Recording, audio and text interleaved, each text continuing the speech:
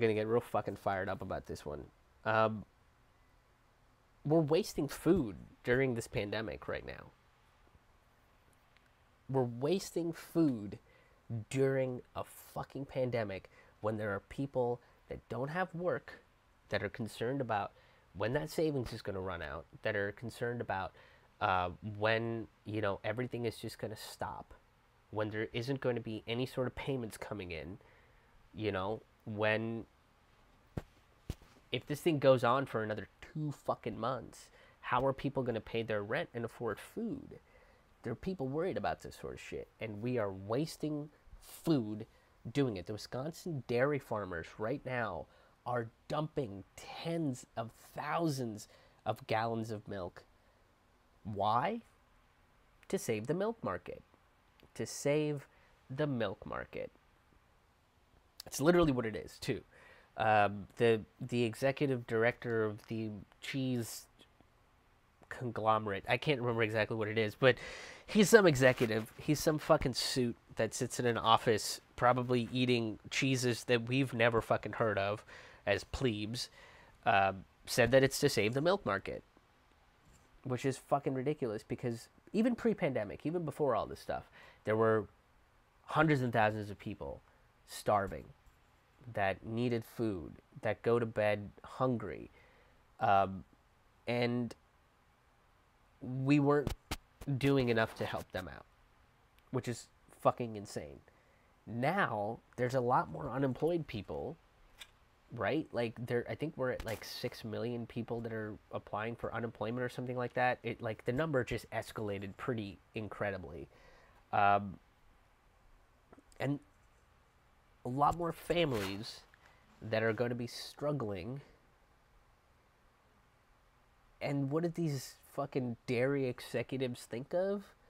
Their profit margin, their bottom line, before people, before families that could use that fucking food. Are you insane? What kind of sociopath sits there and goes, I'd rather waste it uh, like donate it to like someone that fucking needs it. Okay. That that and that's the argument that they're making, that they can't they can't give it away. They can't donate it to like a food shelter, or whatever. Like they can't they, they just can't do that because. Um, well, the profit margins would go down. The, the the market shares would go down. Our stock prices would, would decrease. You know that um, the the intern that I have to come in to tickle my balls, well, I would have to let that person go. And you know, is that what you want? You want job loss, even higher job loss in this country? You know, I mean, I don't pay the intern.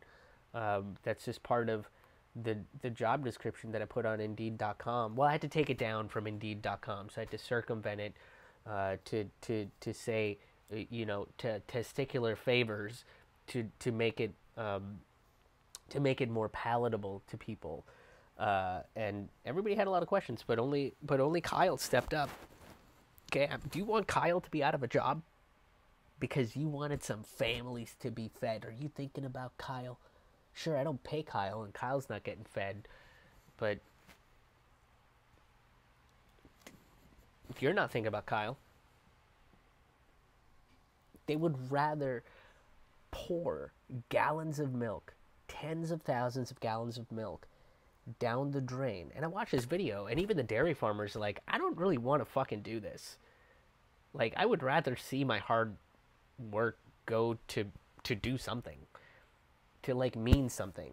You know, like I would rather it go to a hung. But I mean, I guess if the fucking dairy conglomerate says that we got to do this, we got to do this. No, you fucking don't.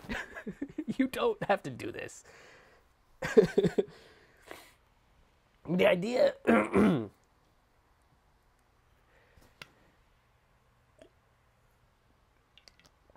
the idea that this the the the executives this this suit somewhere in some fucking ivory tower that's probably never even stepped on a dairy farm before that probably doesn't even know what cows look like you know? To to him the cow is just a giant udder um, and that's it it's just the, the, the, when when he draws a picture of cows, he just draws an udder and then uh, uh, and then dollar signs coming out of it. Like that's what they understand to be. Um, they they basically said, well, maybe the government will step in and give us money so that we can donate it to feeding programs, or you could just fucking do it because that's the right thing to do. You fucking sociopaths. You could just give it to to mutual aid groups, to fucking grocery stores that are that that everybody is going nuts, right? Like all these grocers that they're going fucking crazy and they're probably taking food and milk and shit off the shelves.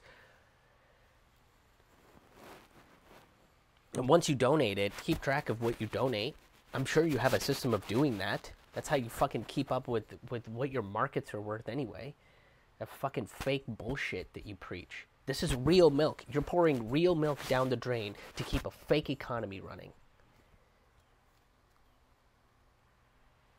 Right now, Netherlands has too many fucking potatoes, um, and uh, and that's kind of the same problem, right? These restaurants, um, they're just not buying because they don't have the same level of uh, sales that are going through these restaurants, and um, the Netherlands are they have this surplus of potatoes. They have this huge surplus of potatoes, and uh, you know what they're not doing with their potatoes?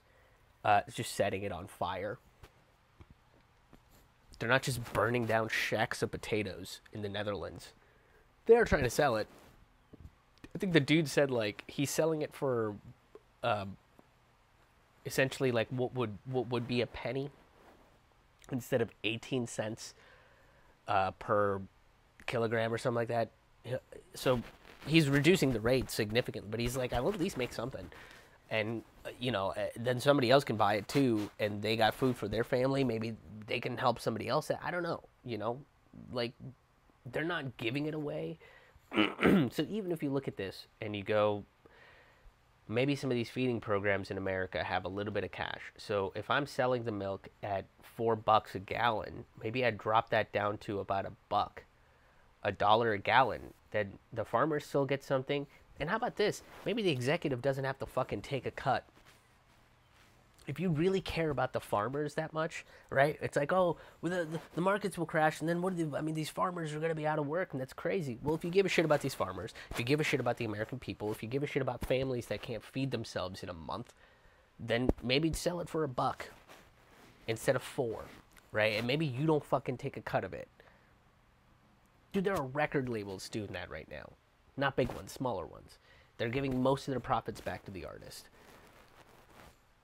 You think, and like, you're telling me a small business can afford to take a little bit less so that somebody can survive a little bit longer. And you're telling me that an executive that probably makes billions of dollars can't fucking give up one month, one fucking month of pay to make sure that the farmers are taken care of and some fucking hungry people are taken care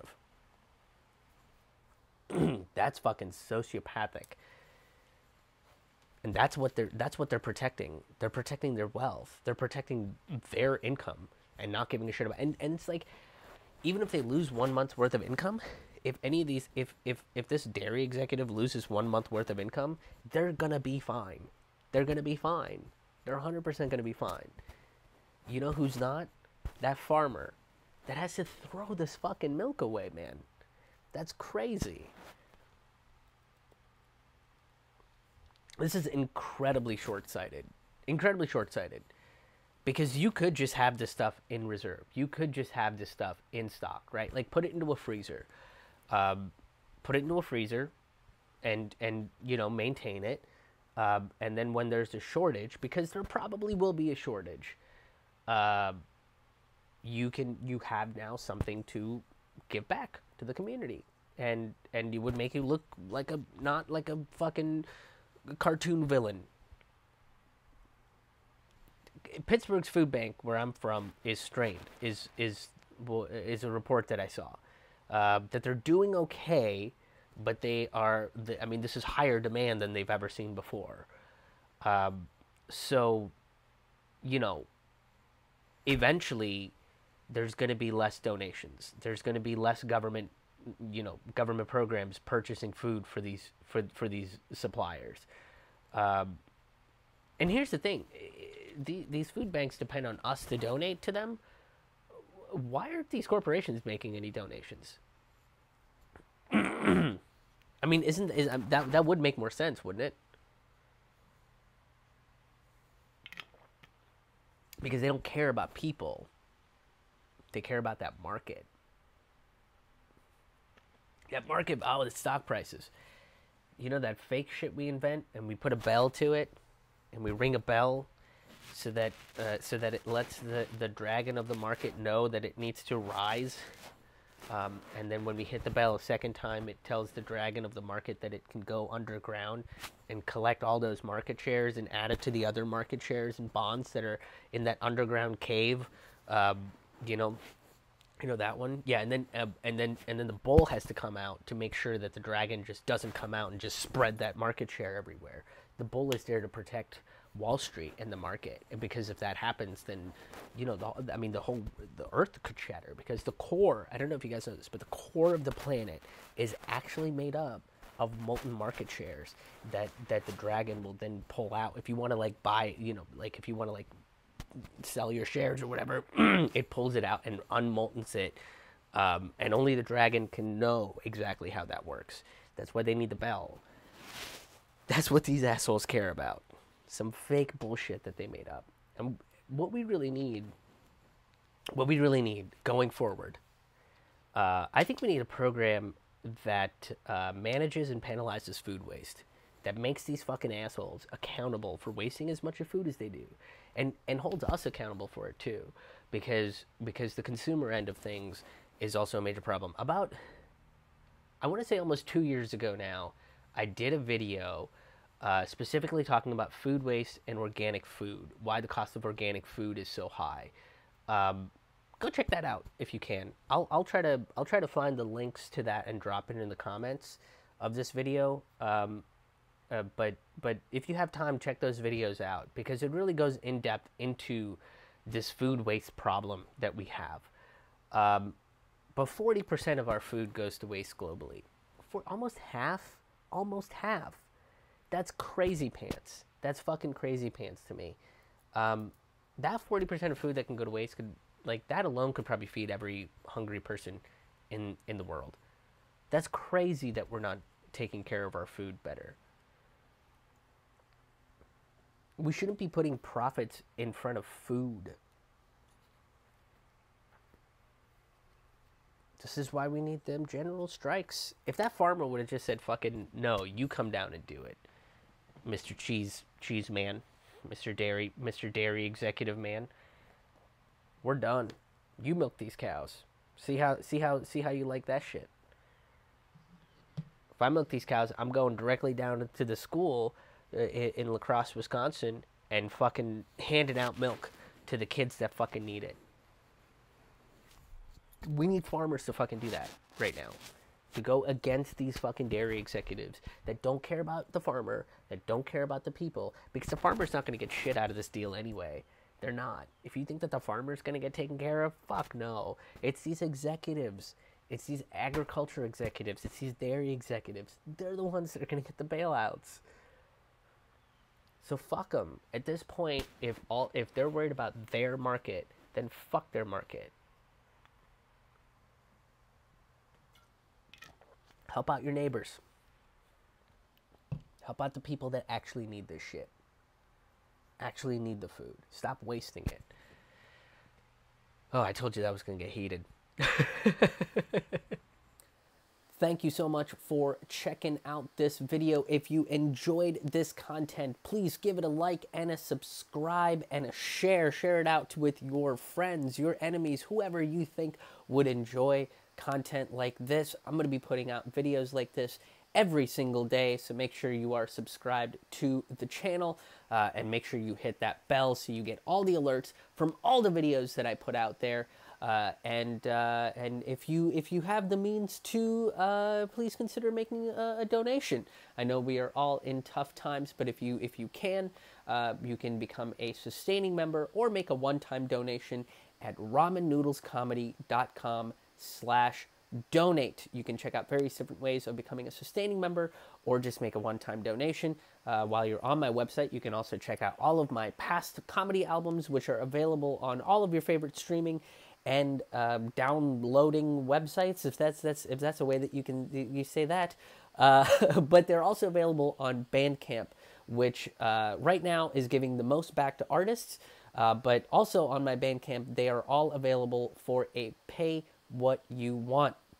If you would like to enjoy some live stand up comedy albums from me and you don't have the means, if you're in tough times, that's totally fine. You can download it for free. Go ahead and get it for free and enjoy it. Uh, or if you do, and if you want somebody else to enjoy it, you can get it to them as a gift. Uh, that's also a, a recommended thing. Uh, but most importantly, thank you guys for tuning into this video. Um, thank you guys for, for all the people that have already donated, that have already become patrons. I really appreciate it. You guys are amazing. And uh, until the next video, we'll see you on the road. Thank you guys.